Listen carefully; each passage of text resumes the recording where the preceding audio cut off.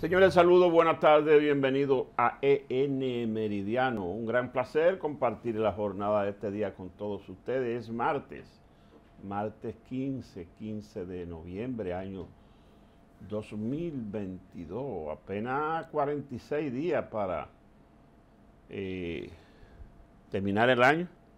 Así es. Y 41 días para el cochinillo. Así es, ya. mitad de del penúltimo. Si tenemos la fiesta de Navidad, Pascua y Año Nuevo encima. Bueno, todo eso viene, todo eso viene. Sí. ¿Y, usted cómo está? Yo estoy bien y pico, como siempre. espere, espere, estar aquí. Explíqueme eso de bien y pico. ¿Eh? Que estoy muy bien. Muy bien, ok, ok. Sí, porque cuando tiene un pico es algo extra. Exactamente. Así es. Así es. Mire, un día interesante este, tanto con los temas nacionales como los internacionales. Pero vamos a comenzar eh, con uno interesantísimo. Me refiero al del censo. La gente le está dando seguimiento muy de cerca. Ya me he encontrado con gente que han sido censadas en sus residencias y dice la nota de la Oficina Nacional de Estadística que el censo ha ido sobre la marcha corrigiendo esos errores y que ahora ya son seis las provincias que solo faltan por activar la tableta de trabajo de los eh, empadronadores, pero que eso sobre la marcha se va a ir corrigiendo hasta lograr la estabilidad del 100%. Sin embargo, eh, todavía repercuten las declaraciones de Alessandra Izquierdo en hoy mismo la Super 7, donde ella decía que no era necesario anunciar la ampliación de los 14 días programados para el censo, que ese es un tiempo suficiente para no solamente eh, hacer los empadronamientos correspondientes, sino que le sobra tiempo si se hace con eficiencia. Eh, rechazó los términos de que eh, la oposición quiere politizar el censo, que quienes han politizado el censo son los propios funcionarios del gobierno con su desacierto.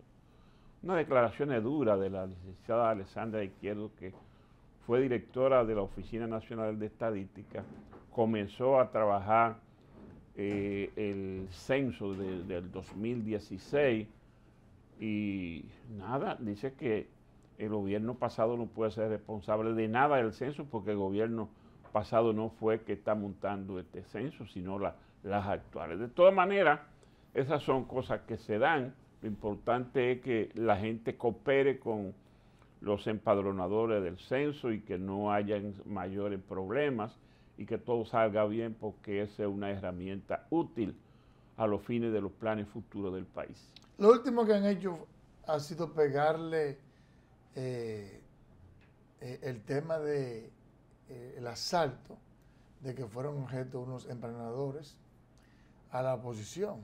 Una locura.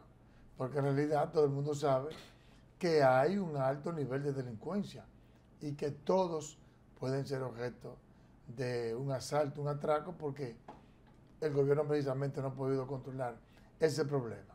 Ha habido quizá eh, algún nivel de improvisación, falta de planificación, eso se ha reflejado. Lo que tiene que hacer eh, el gobierno es eh, resolver los problemas que han tenido al principio y, bueno, afianzar el operativo para que al final del camino, aunque sea un poco retrasado, finalmente se logre ese censo, porque yo creo que todo el mundo quiere. Hay cuantos pocos que están en contra de la realización del censo, pero todo el mundo está claro en que el censo es un instrumento importante de desarrollo que además se está gastando mucho dinero y ya que se está gastando esa cantidad de dinero vale la pena que salga bien. Pero ciertamente, politizando no va a lograr nada. Lo único que va a lograr es, eh, en vez de el apoyo necesario de la oposición, entonces el rechazo y el ataque. Yo, yo reitero que eh, el gobierno debió, en vez de, estar politizando y acusando a la oposición, lo que debió de hacer fue involucrar al sector, a la oposición, para que coadyuvara al éxito de ese proceso. Así es. Mire, eh, tengo el informe de la Estación Central de Meteorología de que el día va a estar afectado por la, la, la, vaguada que está sobre la isla y que está provocando lluvia eh, dispersa en diferentes puntos del país, pero con énfasis en el Valle del Cibao, la alta montaña y también por la zona este del país, eh, lluvia torrenciales fuertes por el este y aquí en, el gran, en Santo Domingo y el Gran Santo Domingo eh, también durante el día y la tarde-noche.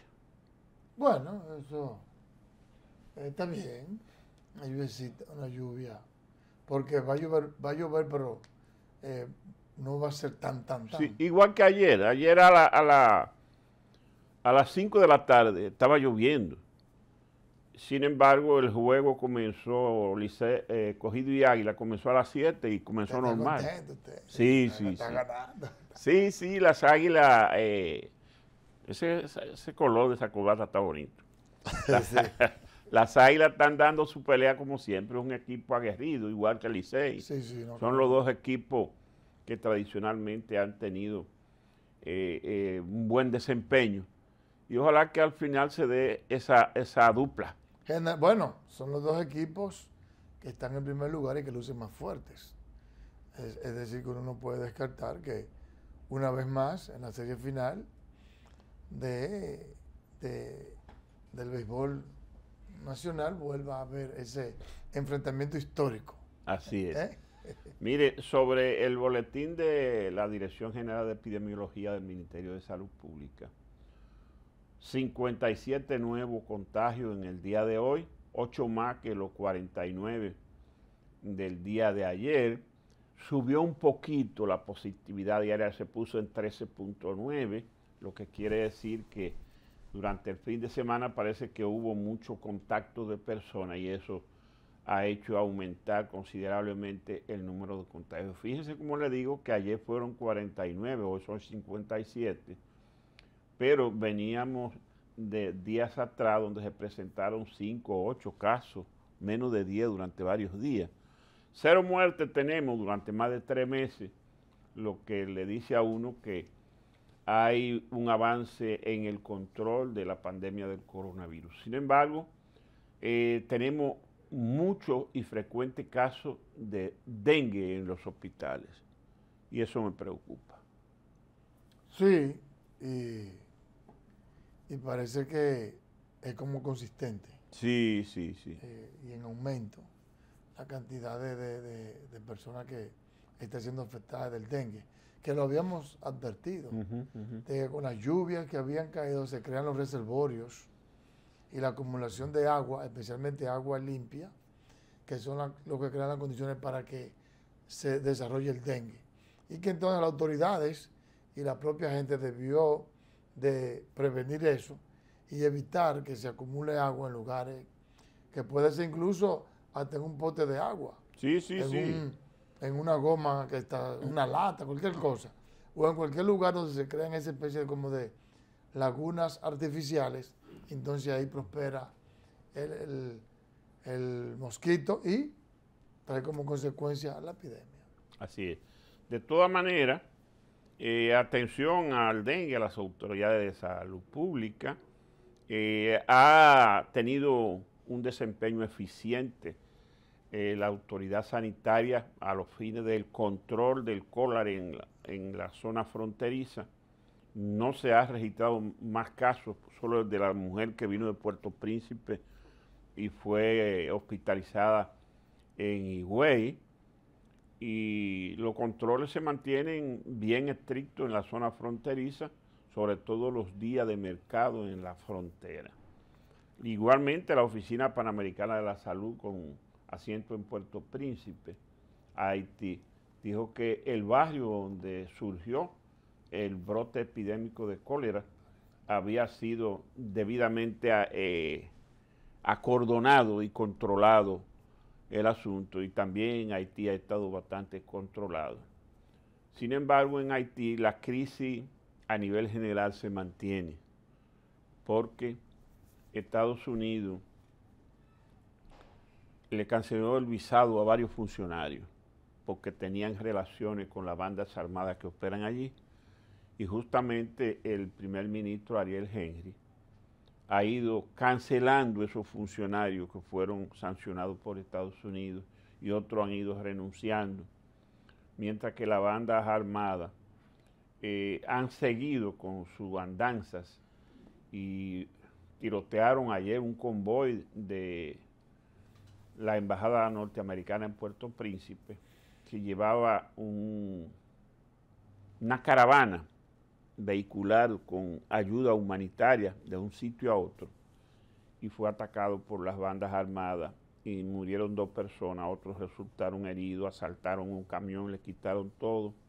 En fin, eh, se mantiene ese de control. Pero algo ha avanzado porque el hecho de que Estados Unidos haya sancionado a sus funcionarios y estén siendo cancelados, ese es un avance. Se avanzó también en el orden de que ya el suministro de combustible, por lo menos en la capital haitiana, ya está normal. Bueno, don Freddy, eh, qué bueno que aunque sea hay ese paliativo en Haití de que hay combustible, pero Haití la verdad. Y mire, don Freddy, le voy a decir algo. Lo lamentable de todo esto es que, en definitiva, eh, ni Estados Unidos, ni ningún país importante, ni ningún órgano internacional, en realidad tiene ningún tipo de, de interés en intervenir para que la situación de Haití cambie. No cabe la menor duda de que ahora mismo los países desarrollados están pasando por situaciones bien difíciles desde el punto de vista económico, también desde el punto de vista geopolítico, y tienen que atender cosas de mayor envergadura para ellos. Y no creo que eh, pierdan su tiempo atendiendo a Haití. Han dicho a través de la ONU y a través de otros órganos internacionales y otros escenarios han dicho que van a intervenir, que tienen un plan, que han reconocido que hay un problema en Haití, pero todavía estamos esperando que llegue esa ayuda o que llegue esa intervención o que llegue ese plan para eh, estabilizar políticamente Haití. Y no va a aparecer, porque sencillamente eso ellos lo dejan para hacer relaciones públicas a organismos internacionales de alguna manera, eh, respondiendo a el pedido que ha hecho el propio presidente en foros internacionales, que ha hecho el canciller y que ha sido escuchado por otros mandatarios de países cercanos al nuestro, de condiciones socioeconómicas más o menos parecidos al nuestro, pero la verdad es que a las grandes potencias no les importa lo que está pasando en Haití y no van a hacer nada. Así es. Mire, eh, ayer damos la noticia de un violento incidente que se produjo en un colmadón en un barrio de Santiago, la Yagüita del Ejido, y resultaron heridas 12 personas, pero cuatro resultaron muertas. Entonces la mala noticia es que una quinta persona murió de los dos heridos, ya murió otro, sumando cinco los muertes.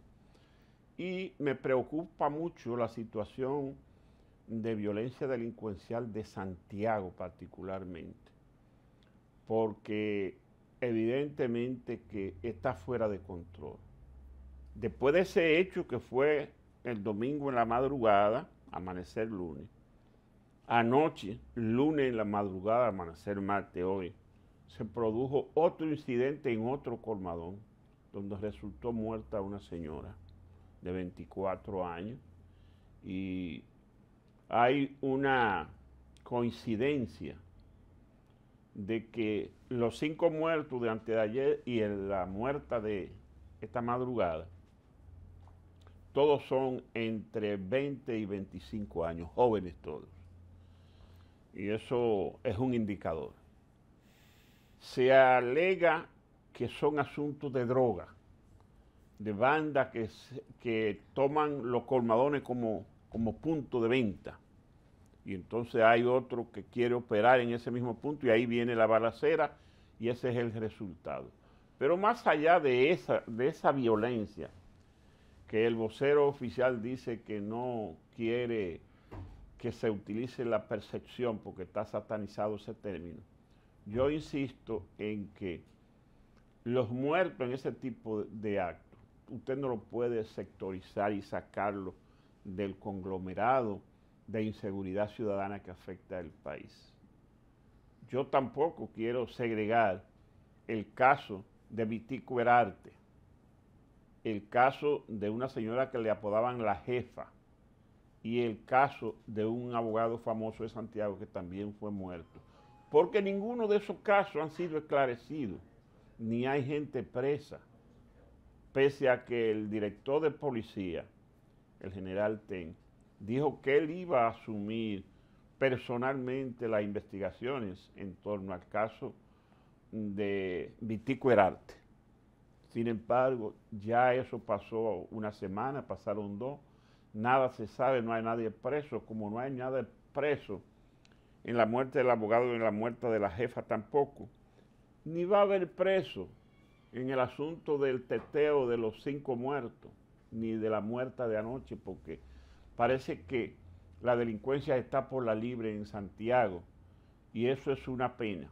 Eso es una pena que uno tenga que sacarle eso todos los días al gobierno después que el presidente Luis Abinader eh, habló tanto del programa para eh, controlar la inseguridad ciudadana y no ha podido hacer nada en dos años y tiene un ministro de Interior que ha actuado irresponsablemente y no es verdad que tiene planes, no tiene planes, no se ven. Y aquí en la ciudad de Santo Domingo, al igual que en Santiago, está pasando lo mismo. O sea, la gente tiene temor de salir a la calle, porque operan ese tipo de eh, gente que se dedica al menudeo del narcotráfico en los colmadones, y de ahí viene la violencia. Lo más lamentable de ese evento que usted menciona, que murieron cuatro jóvenes. Cinco ya. Cinco. De acuerdo a los padres, en un reportaje que vi en el día de ayer, hay dos que no estaban involucrados en eso. Sencillamente se armó una balacera y lamentablemente esos dos jóvenes estaban ahí compartiendo y resultaron heridos. Pero lo cierto es que no cabe la menor duda de que el Ministerio, el Ministerio de Interior y Policía, la propia Policía Nacional, los organismos de investigación de, de control, la seguridad ciudadana ha desaparecido. Los delincuentes en cualquier manifestación, ya sea crimen organizado, ya sea sicariato, ya sea simple raterismo, no importa cuál sea. Todos tienen en asco a la, a la sociedad dominicana. La gente está sufriendo, está en pánico, tiene miedo y con razón. No es una percepción, es una realidad. Es una realidad que se ve día a día. Que se hace bastante difícil ahora de ocultar porque lamentablemente, o qué bueno que sea así, mejor dicho, ahí están ya los celulares, están las cámaras, que presentan la cruda realidad de lo que está pasando. Entonces, a diario, uno ve por los medios de comunicación, o ve por el internet, o ve por, por cualquier vía, el, el nivel de violencia, el nivel de delincuencia que está azotando al país. Y la verdad es que uno tiene que repetir, yo no sé qué espera el presidente de la República para cambiar el ministro de Interior y Policía, a ver si viene otro que tiene la sapiencia, la voluntad, la interesa de buscar, de concebir un verdadero plan de seguridad ciudadana y ponerlo en ejecución. Dime otro. Sí, vamos a hacer la pausa. Vamos a ver los comerciales, regresamos. Tenemos buenos temas que comentar para ustedes.